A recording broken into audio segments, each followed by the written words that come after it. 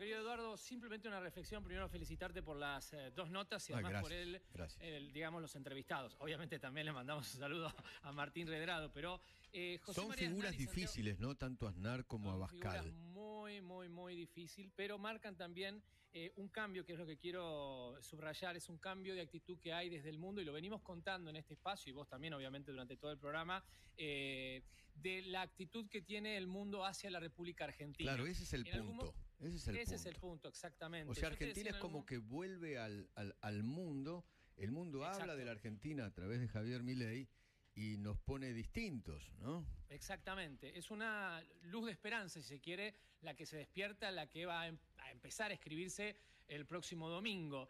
Y yo te digo en este sentido que la primera prueba fue cuando ganó Giorgia Meloni el, eh, el Consejo de Ministros, o la primera ministra, pero en realidad es el presidente del Consejo de Ministros en Italia, que todos la miraban porque era supuestamente la ultraconservadora, la fascista, y finalmente, eh, bueno, es- es- se dio cuenta que era, digamos, una, una posibilidad cierta de que esta, este- digamos, estos grupos que se ven como radicalizados gobiernen y como se dice aquí en Europa, no son ya ultraconservadores, ultraderecha o fascistas, sino, en todo caso, como le dicen aquí ya en España y en Europa, la derecha de la derecha, es decir, una derecha decidida a hacer un montón de cosas que eh, en muchos casos el progresismo abandonó. Claro. Me parece tanto el mensaje de Aznar con las diferencias que tiene con, con Santiago Abascal y Abascal con eh, Aznar, hablan de eso, de una derecha derecha, ¿eh? moderada, que puede gobernar y que se está viendo en todas partes del mundo.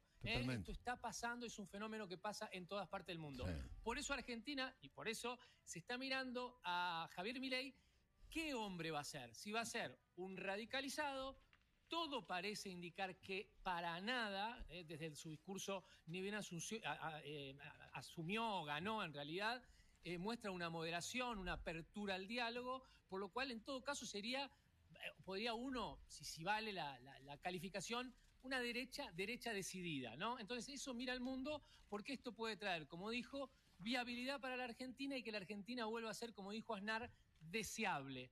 Porque el mundo necesita oportunidades, el capital Sí. necesita oportunidades. Totalmente. Hay mucha plata en el mundo, Claro. mucha plata en el mundo que no sabe dónde ir. Totalmente. Si Argentina encuentra dos o tres políticas de Estado, bueno, esto se va a eh, redirigir y seguramente Argentina pueda tener, después seguramente de meses eh, difíciles, como miran en España o miran en Europa, bueno, un destino eh, muy, muy auguroso para la República Argentina. La única, la última línea, Sí. querido Eduardo, no nos podemos olvidar dos meses de la masacre, del genocidio, del terrorismo. Entiendo que hay, hay un acto en la ciudad de Buenos Aires señor. eh, eh, co- contra el terrorismo. Hay que entender lo que está haciendo Israel.